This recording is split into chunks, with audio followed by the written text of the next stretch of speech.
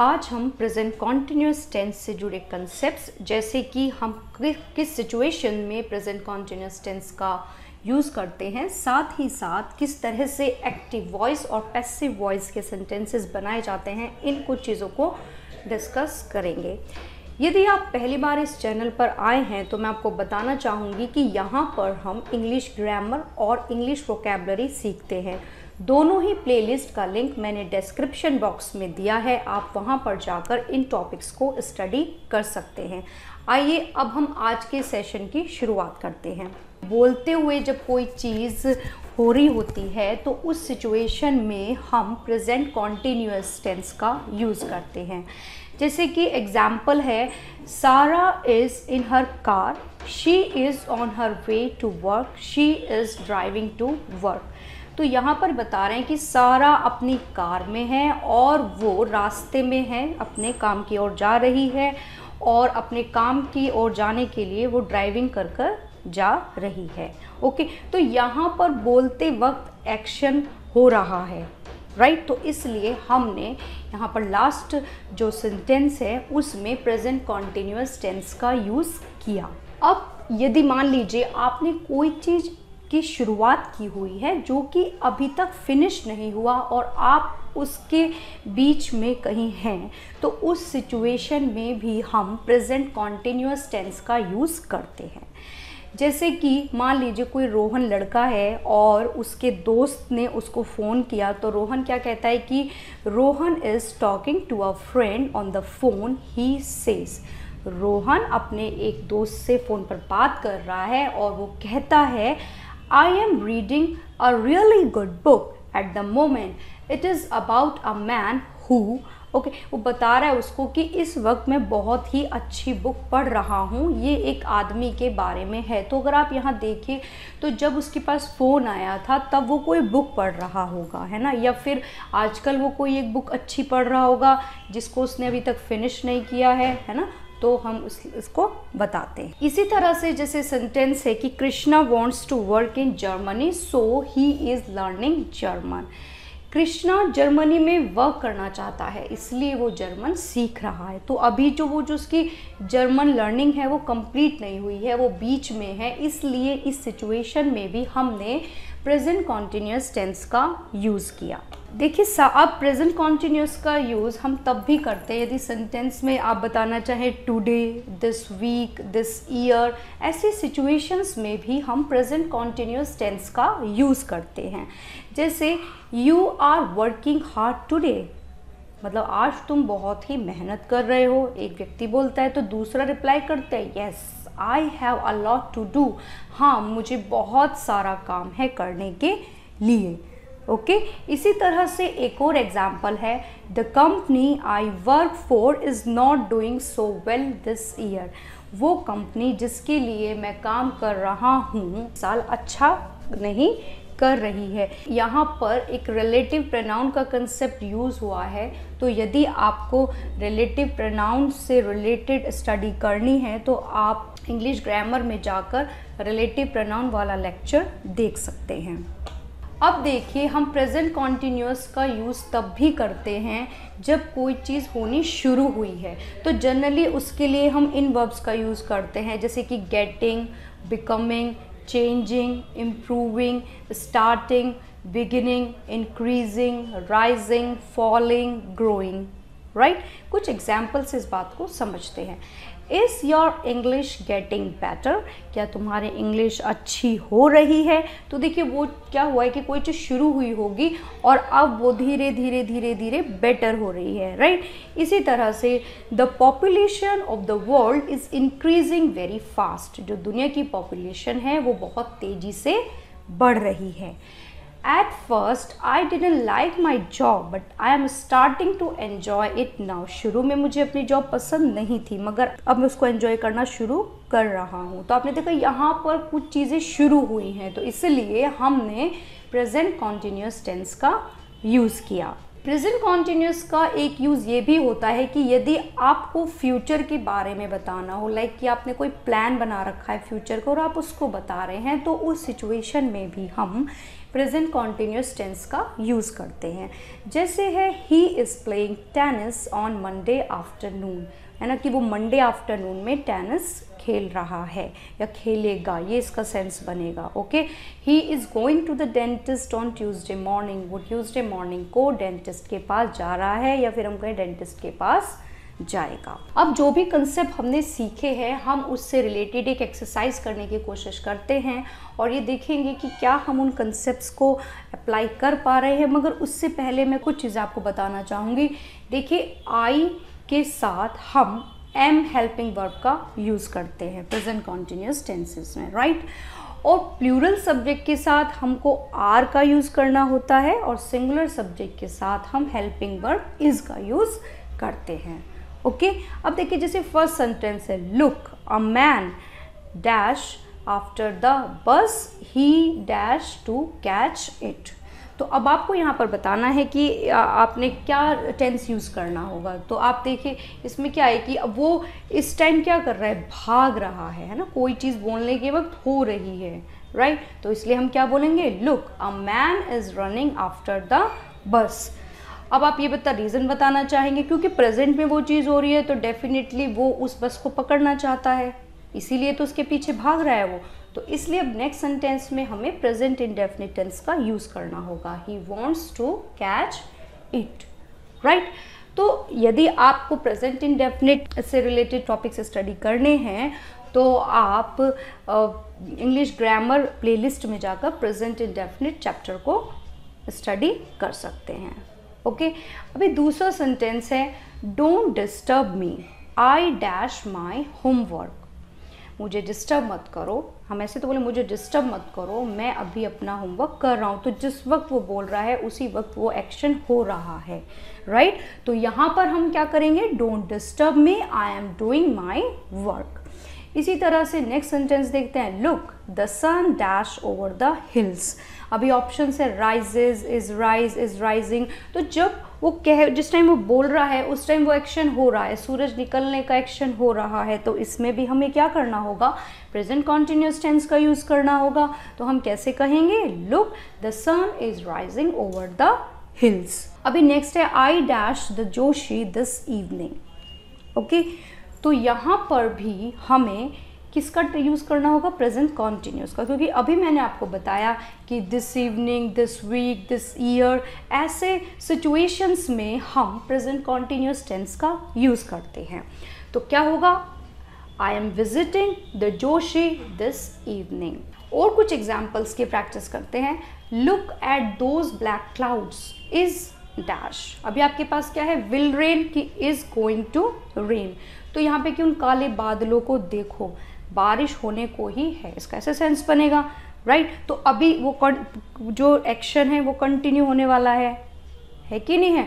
वो बोलने के वक्त आप उस चीज़ को बता रहे हो तो हम क्या बोलेंगे कि look at those black clouds it is going to rain इसी तरह से ओ dear I dash will sneeze और I am going to sneeze तो वो अभी एकदम से क्या छींकने वाला है? तो हम बोलेंगे ओ dear I am going to sneeze इसी तरह से I dash home next Sunday अभी फिर से वही कंसेप्ट आए ना कि फ्यूचर के बारे में आपने कोई प्लान बना रखा है तो उसके के लिए भी हम क्या यूज़ करते हैं? उसके लिए हम प्रेजेंट कॉन्टीन्यूस टेंस का यूज़ करते हैं तो क्या होगा? I am going home next Sunday right इसी तरह से है help I dash fall help I am going to fall she has bought some cloth she dash herself a blouse तो देखिए यहाँ पर क्या हो रहा है कि वो कपड़ा खरीद के लाई है है ना? अब वो क्या करेगी? अब वो एक अपने लिए ब्लाउज बनाने जा रही है। तो इसलिए हमने यहाँ पर क्या यूज़ करना होगा? प्रेजेंट कॉन्टीन्यूस टेंस का यूज़ करना होगा। She has bought some cloth she is going to make herself a blouse अब यहाँ पर रिफ्लेक्सिव प्रनाउन का भी यूज़ हुआ है। तो यदि आपको रिफ्लेक्सिव प्रनाउन से रिलेटेड कंसेप्ट सीखने हैं तो अगेन आप इंग्लिश ग्रामर की प्लेलिस्ट में जाकर इस कंसेप्ट को भी स्टडी कर सकते हैं। मैंने उसका वीडियो भी बनाकर प्लेलिस्ट में डाला हुआ है। अब देखिए नेक्स्ट जो टॉपिक है, वो है नेगेटिव सेंटेंस कि प्रेजेंट कॉन्टीन्यूस के नेगेटिव सेंटेंस को हम किस तरह से बनाते हैं? तो देखिए, इसमें क्या है, वही सबसे पहले हमारा सब्जेक्ट होता है, उसके बाद सब्जेक्ट के अकॉर्डिंग आप हेल्पिंग वर्ब का यूज़ करेंगे देन नॉट और फिर वर्ब की बेस फॉर्म में हम आईएनजी का यूज़ करते हैं, और लास्ट में हमारा क्या होता है ऑब्जेक्ट होता है। जैसे कि they are not going this Monday वो इस मंडे नहीं जा रहे हैं। ओके तो देखिए यहाँ पर क्योंकि सब्जेक्ट है दे तो उसी के कॉरस्पॉन्डिंग हमने क्या यूज़ किया? हमने यूज़ किया are I am not using that book for grammar मैं ग्रामर के लिए उस बुक को यूज़ नहीं कर रही हूँ. Right right? तो यहाँ पर भी मैंने आपको बताया था कि आई के साथ हम हेल्पिंग वर्ब एम का यूज़ करते हैं. प्रेजेंट कॉन्टिन्यूस टेंसेस में. अब बात करते हैं इंटेरोगेटिव सेंटेंसेस की। तो देखिए इंटेरोगेटिव सेंटेंसेस में फिर से कंसेप्ट आता है कि या तो हम क्वेश्चन का आंसर हाँ या ना के टर्म्स में पूछेंगे राइट right? तो उस सिचुएशन में क्या होता है कि सेंटेंस की जो शुरुआत है, वो हेल्पिंग वर्ब से होती है। तो पहले आप हेल्पिंग वर्ब लिखेंगे, उसके बाद सब्जेक्ट एंड देन वर्ब की फ़र्स्ट फॉर्म में I N G and at last object right जैसे are you going to market क्या तुम मार्केट जा रहे हैं? तो आपने देखा कि यू के लिए हम किस हेल्पिंग वर्ब का यूज़ करते हैं? हम आर का यूज़ करते हैं और इसी हेल्पिंग वर्ब से हमने अपने सेंटेंस की शुरुआत की। तो are you going to market is your father working in the capital क्या तुम्हारे पिता राजधानी में काम कर रहे हैं? तो यहाँ पर देखिए, ये जो योर फादर है, ये सिंगुलर सब्जेक्ट है तो उसी के कॉरेस्पॉन्डिंग हमने हेल्पिंग वर्ब इससे सेंटेंस की शुरुआत की है। अब एक दूसरे तरह का इंटेरोगेटिव सेंटेंस हो सकता है, जिसमें कि हम कुछ क्वेश्चन वर्ड्स पूछ सकते हैं जैसे तुम, जैसे क्या, क्यों, कैसे, कौन राइट right? तो उस सिचुएशन में हम क्या करते हैं सेंटेंस की जो शुरुआत होती है वो क्वेश्चन वर्ड से होती है। फिर क्वेश्चन वर्ड के बाद आपको हेल्पिंग वर्ब लिखना होता है, उसके बाद सब्जेक्ट फिर वर्ब की बेस फॉर्म या फिर फ़र्स्ट फॉर्म में आप आईएनजी का यूज़ करेंगे एंड एट लास्ट ऑब्जेक्ट होता है। जैसे what are you doing this Tuesday इस ट्यूसडे तुम क्या कर रहे हो? तो आपने देखा कि यहाँ पर जो क्या है, उसको इंग्लिश में हम वॉट कहते हैं। इसलिए हमने सेंटेंस को वॉट से स्टार्ट किया। उसके बाद फिर हेल्पिंग वर्ब आर का यूज़ किया हमने राइट तो आप इस ट्यूसडे क्या कर रहे हो? नेक्स्ट है कि how are you going to the dentist तुम डेंटिस्ट के पास कैसे जा रहे हो? तो यहाँ पर अब कैसे हमारा क्वेश्चन वर्ड है, जिसको इंग्लिश में हम क्या बोलते हैं? हाउ बोलते हैं ओके okay? तो हमारा सेंटेंस क्या होगा? हाउ और यू के कॉरस यू के साथ हम किस हेल्पिंग वर्ब का यूज़ करते हैं? हम यूज़ करते हैं आर का। तो क्या हुआ? How are you going to the dentist next जो कंसेप्ट आता है प्रेजेंट कॉन्टिन्यूस टेंस से रिलेटेड वो आता है एक्टिव वॉइस और पैसिव वॉइस देखिए, सबसे पहले मैं आप इन दोनों में डिफरेंस बताना चाहूँगी। देखिए, जो एक्टिव वॉइस होता है, उसमें हम इस बात पर फोकस करते हैं कि सब्जेक्ट जो है, किसी एक्शन को कर रहा है। Right right? लेकिन पैसिव वॉइस में क्या होता है कि हम ऑब्जेक्ट के ऊपर एक्शन का क्या प्रभाव पड़ रहा है, उसको फोकस करते हैं। तो यहाँ पर हम सब्जेक्ट को एज अ साइलेंट रखते हैं या फिर हम बता भी सकते हैं। मतलब जो मेन एम्फोसिस होता है, वो ये होता है कि एक्शन का ऑब्जेक्ट के ऊपर क्या प्रभाव पड़ रहा है। और उसी ऑब्जेक्ट को हम पैसिव वॉइस में सब्जेक्ट की जगह पर ले आते हैं। Right right? इस बात को मैं आपको सेंटेंस की हेल्प से समझाने की कोशिश करती हूँ। देखिए somebody is cleaning the room at the moment इस समय कोई कमरे की सफ़ाई कर रहा है। तो ये क्यों हुआ है सभार एक्टिव वॉइस में? ये इसलिए है क्योंकि हम क्लियरली बता रहे हैं कि जो सब्जेक्ट है, काम करने वाला रूम को साफ़ कर रहा है। क्लियरली पता चल रहा है कि कौन साफ़ कर रहा है। मगर जब हम इसका पैसिव वॉइस बनाते हैं, वो होता है the room is being clean at the moment room को इस वक्त क्लीन किया जा रहा है। अब आप देखिए, यहाँ पर हमने सिर्फ़ ये बताया कि जो ऑब्जेक्ट था रूम उस पर क्लीन करने का एक्शन हो रहा है राइट right? मगर हमने ये नहीं बताया कि वो कर कौन रहा है। और इस पैसे में हमने क्या कर दिया? उस ऑब्जेक्ट को हमने सब्जेक्ट के प्लेस पर रख दिया। और सब्जेक्ट के बारे में आप जानते हैं सब्जेक्ट क्या होता है? या तो सब्जेक्ट एक्शन कर रहा होता है, या फिर सेंटेंस में सब्जेक्ट वो वर्ड है जिसके बारे में हम बात कर रहे हैं। तो इस बेस्ट जो हमारा सेंटेंस है the room is being clean at the moment इस सेंटेंस में हम किसके बारे में बात कर रहे हैं? हम रूम के बारे में बात कर रहे हैं ना तो वो जो एक्टिव में ऑब्जेक्ट था, वो पैसिव में आकर क्या बन गया? वो बन गया सब्जेक्ट राइट आई होप आपको एक्टिव पैसिव का कंसेप्ट समझ आया होगा. अब बात आती है कि प्रेजेंट कॉन्टिन्यूस टेंस का पैसिव वॉइस कैसे बनाया जाता है? तो देखिए, इसमें क्या करते हैं कि ऑब्जेक्ट के कॉरेस्पॉन्डिंग आप इज़ बींग एम बींग और आर बींग का यूज़ करते हैं और उसके बाद वर्ब की थर्ड फॉर्म का यूज़ होता है। और लास्ट में हम क्या करते हैं? सब्जेक्ट को एज एन ऑब्जेक्ट यूज़ करते हैं। Okay okay? देखिए, जैसे somebody is cleaning the room at the moment तो इस सेंटेंस में ऑब्जेक्ट क्या है? इस सेंटेंस में ऑब्जेक्ट है द रूम तो उसको हमने क्या बना दिया? सब्जेक्ट बना दिया।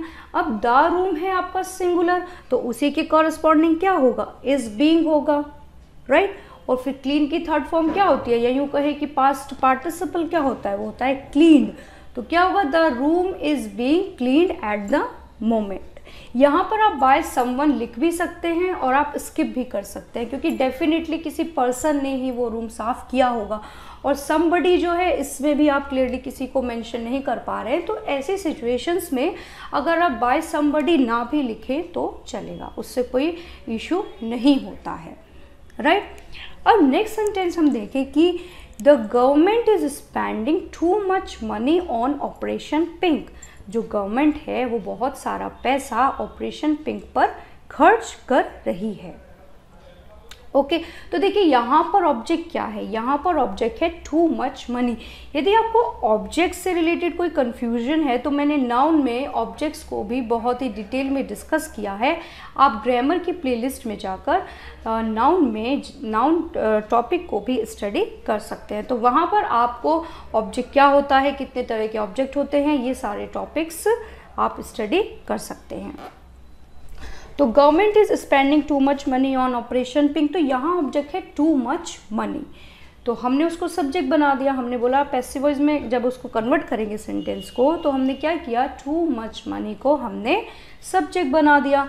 अब टू मच मनी के कॉरेस्पॉन्डिंग क्या हेल्पिंग वर्ब यूज़ होगी? वो यूज़ होगी इज़ बींग राइट तो too much money is being spend by the government on operation pink right next sentence है हु इज़ बोदरिंग यू तो देखिए, जब हमारा सेंटेंस हु से स्टार्ट होता है तो इस केस में हम क्या करते हैं, इसका पैसिव वॉइस बनाते हुए हम सेंटेंस को बाय हुम से शुरू करते हैं। राइट बाय हुम और यू को फिर हम क्या बनाएँगे सब्जेक्ट बनाएँगे। और यू के साथ हम किस हेल्पिंग वर्ब का यूज़ करते हैं आर का तो क्या होगा by whom are you being bothered ध्यान देंगे सिंटेक्स पर। क्वेश्चन वर्ड के बाद हेल्पिंग वर्ब उसके बाद फिर आप सब्जेक्ट लिखेंगे और उसके बाद फिर बींग को लिखेंगे राइट सब्जेक्ट से पहले बींग नहीं आएगा सब्जेक्ट के बाद बींग आएगा। By whom are you being bothered है ना? किसके द्वारा तुम्हें बॉदर्ड किया जा रहा है?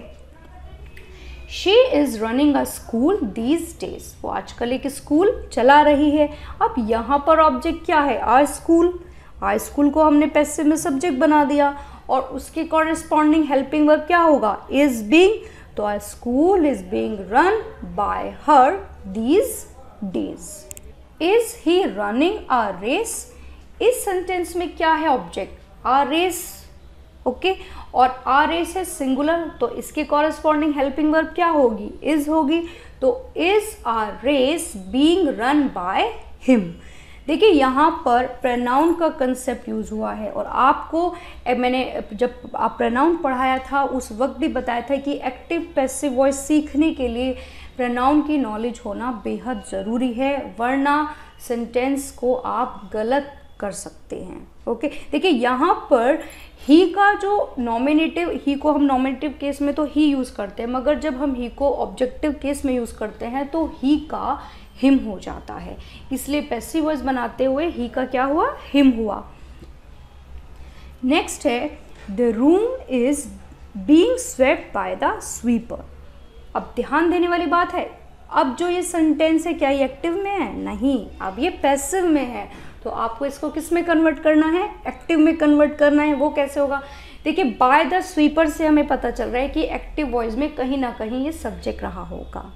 ओके तो हमने क्या लिखा? द स्वीपर अब ये द स्वीपर है सिंगुलर तो इसके कॉरेस्पॉन्डिंग क्या हेल्पिंग वर्ब यूज़ होगी? Is the sweeper is sweeping the room okay next है the matter is being looked into by the जज अब देखिए बाय द जज इससे हमें क्या आइडिया लगा कि सब्जेक्ट इस सेंटेंस में, इसका जब हम एक्टिव बनाएँगे सब्जेक्ट क्या होगा? वो होगा द जज द जज हमें सब्जेक्ट मिल गया। उसके करस्पॉन्डिंग हम क्या करेंगे? हेल्पिंग वर्ब ढूंढेंगे, क्योंकि अब जज सिंगुलर है तो क्या हेल्पिंग वर्ब होगी? इज़ द जज is looking into the matter they are watching the sports right right? देखिए एग्ज़ाम में क्या होता है कि आपको सेंटेंस दे देंगे और ऊपर हेडिंग लिख देंगे कि एक्टिव पैसिव मतलब जो कॉरस्पॉन्डिंग चेंज करो। कहने का मतलब है एक्टिव में है तो पैसिव में बदलो पैसिव में है तो एक्टिव में बदलो। तो सेंटेंस पढ़ते ही आपको ये भी पहचान होनी चाहिए कि ये सेंटेंस एक्टिव वॉइस का है कि ये पैसिव वॉइस का है। Okay okay? तो जैसे they are watching the sports वो स्पोर्ट्स देख रहे हैं तो ये एक्टिव में है सेंटेंस तो जब हम इसका पैसिव बनाएँगे, कैसे होगा? द स्पोर्ट्स ये बन, ये क्या है? प्लूरल तो जब हम इसको सब्जेक्ट बनाएँगे तो उसके कॉरेस्पॉन्डिंग क्या हेल्पिंग वर्ब यूज़ होगी? Are being the sports are being watched by them sports उनके द्वारा देखा जा रहा है। नेक्स्ट है you are reading this lesson तो इस सेंटेंस में ऑब्जेक्ट है दिस लेसन जो कि सिंगुलर है। तो हम क्या बोलेंगे? This lesson is being read by you यहाँ पर एक बात और ये है ध्यान देने वाली कि यू का नॉमिनेटिव और ऑब्जेक्टिव दोनों ही केसेस में यू ही रहता है। नेक्स्ट है we are not wasting our time okay तो देखिए आर टाइम आर टाइम क्या है? सिंगुलर इसलिए हम क्या बोलेंगे? इज़ तो our time is not being wasted by us we का क्या बनाया? ऑब्जेक्टिव अस बनाया ओके नेक्स्ट है ही इज़ डिसीविंग मी तो देखिए मी मी है ऑब्जेक्ट जब आप इस, ये फ़िलहाल ऑब्जेक्टिव केस में, जब आप इसको नॉमिनेटिव केस में लाएँगे या फिर जब आप इसको सब्जेक्ट बनाएँगे तो मी के कॉरस्पॉन्डिंग सब्जेक्ट क्या बनता है? आई बनता है. तो I am being deceived by him I am watching you very carefully मैं तुम्हें बहुत ध्यान से देख रहा हूँ. है ना? अब देखिए, यहाँ पर जो ऑब्जेक्ट है वो है यू और अभी मैंने आपको बताया कि यू का नॉमिनेटिव और ऑब्जेक्टिव दोनों ही केसेस में यू रहता है। तो क्या सेंटेंस बनेगा? You are being washed by me very carefully अब यहाँ पर आप बाय मी लगा भी सकते हैं और नहीं भी लगा सकते हैं, उससे कोई खास फ़र्क नहीं पड़ेगा। नेक्स्ट है they are building a house next door to our school अब यहाँ पर जो ऑब्जेक्ट है, वो क्या है? आ हाउस जिसको हमें सब्जेक्ट बनाना होगा।